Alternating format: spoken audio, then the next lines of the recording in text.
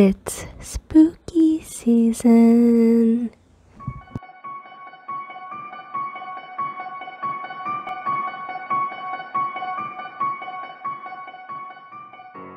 Hi everybody! Today I will be doing a jack-o'-lantern Halloween makeup tutorial, so if you want to get this look, keep on watching!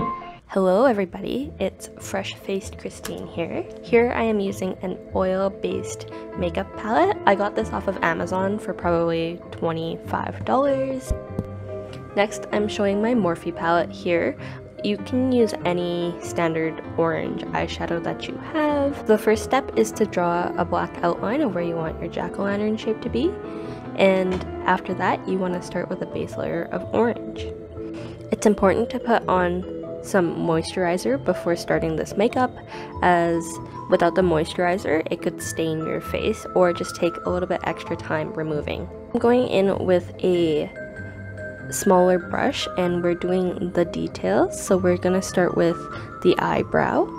I originally start with the natural shape of my eyebrow. I decide to switch to makeup brushes. I originally was afraid to stain my brushes, but I thought I could get better detail with actually using gold eyeliner brush. So here I am starting to draw that upwards curve. I think this just makes the jack-o'-lantern face look a little bit more sinister.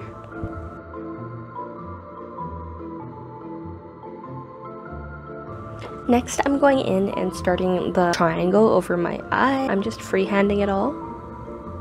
A good tip is to remember that your eye is curved or your eyelid is curved.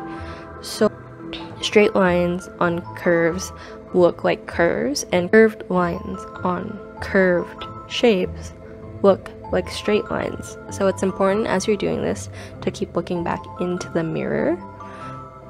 You'll notice later, if you look at me from the side, it'll look curved, but from a straight on perspective, the lines will look straighter. So once we have our triangle shape, we're going to go ahead and fill that in.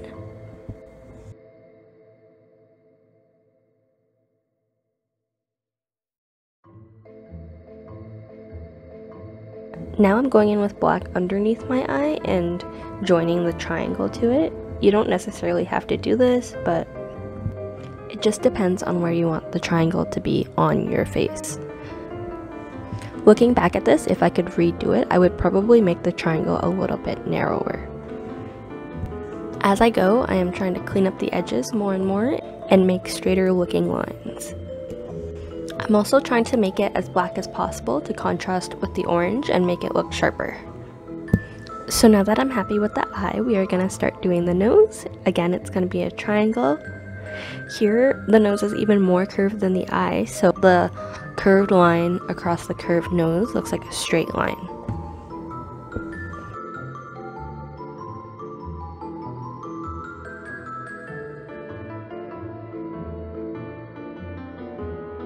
At this point, I look like Tony the Tiger, but you gotta just trust the process. So you'll notice that when my head is tipped downwards, the nose does not look straight. It looks more like an animal's nose. But when I put my head straight forward, that's when it looks like a straight line. I decided I didn't love my eye so much, so I'm drawing another black line underneath my eye and making the triangle larger and filling that in. Next, I am filling in my lips completely in black. You don't technically need to do this. Um, you can go straight into drawing the teeth. If you go straight into the drawing the teeth, you might have like a nicer looking jack-o'-lantern mouth. But if you're gonna be eating or talking or using your lips a lot, it might get smudged. So if you make your lips all black, as the black fades away throughout the night, you can just touch it up by filling it in instead of going back and trying to go in with orange and black to fix it. I'm just doing little triangles with the black and connecting it to the black on my lips. I'm making these triangles in different sizes because messed up teeth, now that's scary.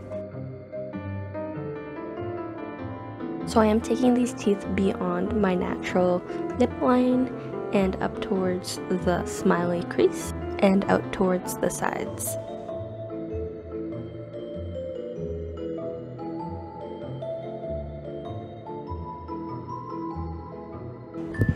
I'm starting to make my smile bigger and bigger. You can go as big or as small as you want to go.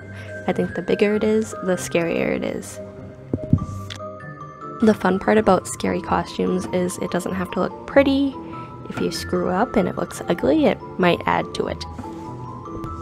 So I make sure the edges of my smile have that larger triangle going outwards from it. I feel like that's very signature of a jack-o'-lantern smile.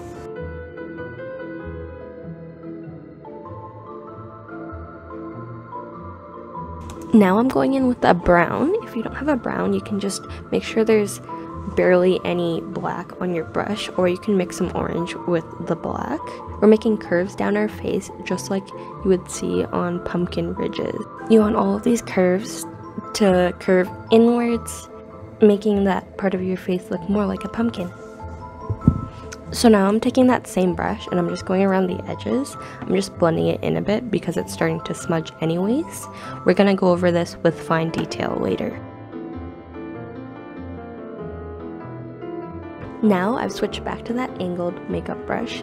I went in with the black and we're just gonna start carving out that detail around the edges to make it look poppin'. Here you can see I'm starting to curve down and I'm just gonna draw out like what might be the natural curve of a pumpkin. So it's gonna curve down towards that pumpkin ridge we drew earlier. And we're gonna repeat that all around to match up with all the pumpkin ridges.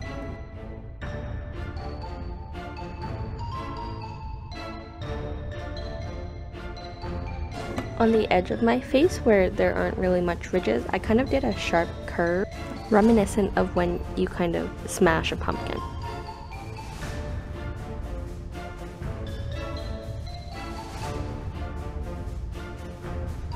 So here I'm just going down underneath that triangle I, I created and making a downwards triangle into the pumpkin ridge.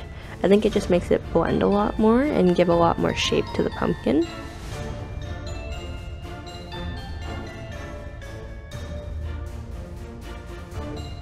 And we are going back sharpening everything up. So here I'm detailing up top. I decided to change the shape a little bit and I made a little mistake and it doesn't look as round anymore, but the sharpness makes it look a little bit more sinister and that cracked pumpkin vibe. I'm making these creepy smiles while I'm doing this makeup. I just want to see what it looks like when I smile for the end product. So next I'm just going to go in with translucent setting powder. I'm using a NYX one here. I would recommend that you use powder because it's just gonna set the product or else all that oil based makeup isn't gonna dry. I also recommend starting in the orange parts and then making your way towards the black part. I didn't do this here, but it's a learning experience. Do as I say and not as I do. So, because I screwed up and I got some black in the orange, I'm going over that part with some orange. You shouldn't really put liquid again over powder and then you'll have to set it again and it might get cakey. But I'm doing it anyways. So now we're gonna work on the other eye. I'm just using a orange eyeshadow. This eyeshadow turns out to be much more red than orange and I didn't have anything any more orange so we just kept going with it. I'm kind of just working on a cat eye shape. You can kind of make any shape you want. I'm just taking in that orangey red and I'm following the contours of the natural curve of my eye.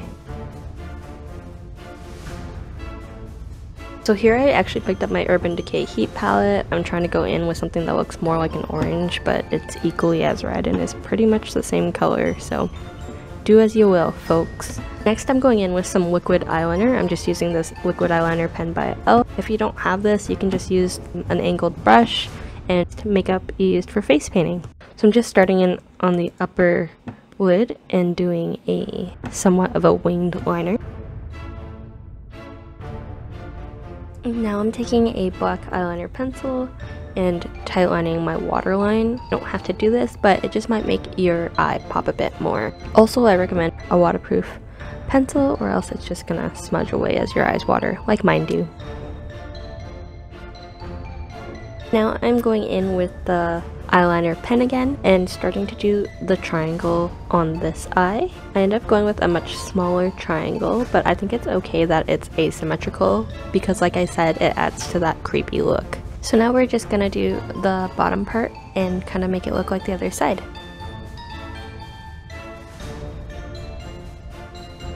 So I'm just going back in and adding more eyeshadow to make it really pop. Now I'm going in with that black eyeliner pencil again and filling in my eyebrow. I could have used the line or I could have used the oil-based makeup. I didn't make this eyebrow as dramatic because it's on the cute side of my face and not the creepy side of my face.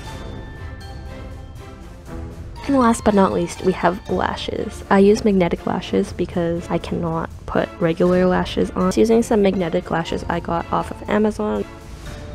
I'm just doing a thin line across my waterline, letting it dry, applying a second line over top of that, and then applying my lashes.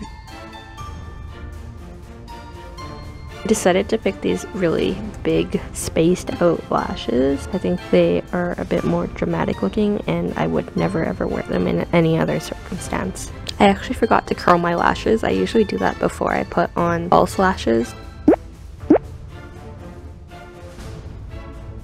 Big smile because I am all done.